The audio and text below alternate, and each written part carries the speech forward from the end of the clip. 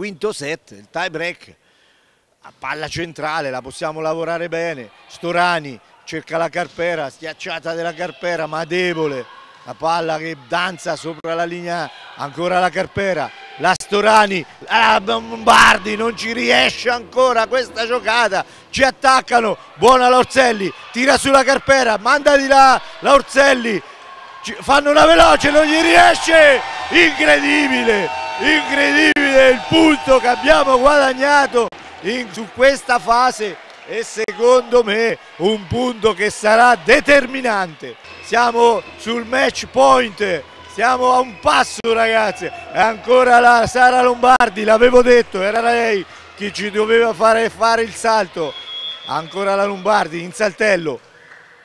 ancora la ricerca del libero, questa volta riceve bene, le muriamo, la palla va giù e vince nel Venecina! 15 a 11, l'avevo detto che si poteva fare e l'abbiamo fatto, incredibile, adesso vanno tutti al centro del campo a raccogliere gli applausi del pubblico, ma è stata una bellissima partita.